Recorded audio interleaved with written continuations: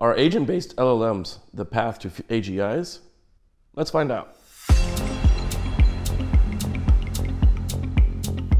Hello, welcome back to AI Weekly. I'm Brent Worth, CTO of Substrate AI, and today we're going to talk about agent-based LLMs and how they are a possible path to AGI. The journey from simple AI systems to today's large language models has been breathtaking. No longer are we just talking about the possible future of existence of AGI. Now we're talking about when AGI is going to happen. And specifically, can AGIs be just a step away with agent-based approaches? Research done across different forms of agent-based uh, algorithms has demonstrated every uh, the ability to boost performance of LLMs across the board. In a recent presentation by Andrew Ng, he presented uh, numbers that showed that agent-based LLMs could boost the performance from 3.5 to 4.0 with very simple agent architectures. He also alluded to the fact that these approaches were a likely path towards much more advanced AIs based on existing systems that we have right now. This means that it's potentially not requiring us to build ever larger scaling uh,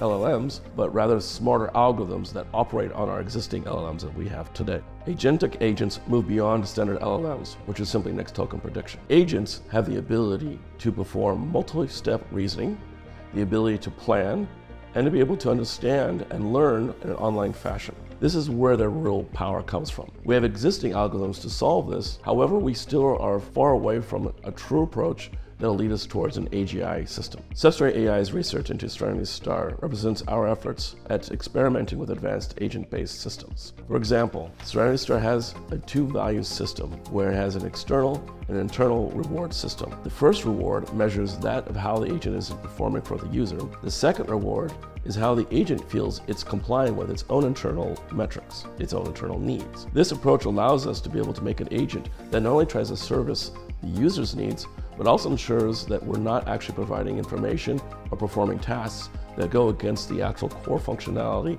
core, let's say, morals or ethics of the Serenity Star system. This is an approach to safe AI. This system mirrors the parent-child relationship, where the child always just wants an answer. Okay, it wants more candy, it wants more pizza, and it wants to watch TV all day. However, they want this child to be able to grow up to be healthy, happy, and a productive adult. So they have to find that fine balance between giving the child what they want with the necessary understanding that the child's development needs are different than what the actual child wants. This is how Serenity Star works. So beyond the two-value system, Serenity Star boasts a number of features. Two of these areas include safety and responsibility and reasoning. The safe and responsible part of the, uh, the agent includes the meta-analysis and user uh, confidential data replacement. The meta-analysis ensures that the agent interacts with the world in a safe way, while the safe and secure agent extracts and replaces secure information while maintaining semantic understanding for downstream models. This ensures that your personal and private information is not released externally to other models, guaranteed. From the reasoning perspective, Serenity Star boasts numerous features that have improved its ability to abstract temporal part of the world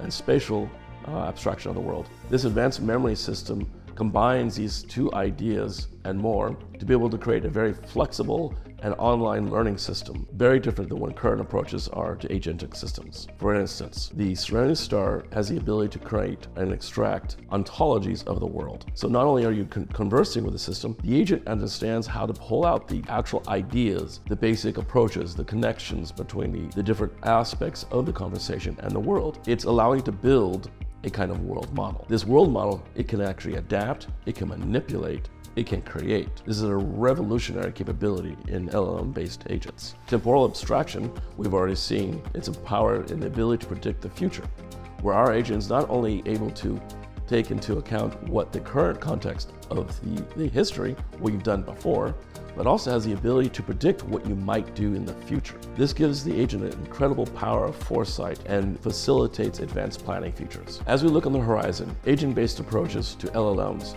are definitely the clear approach to AGI. We will learn on this path what works and what doesn't work.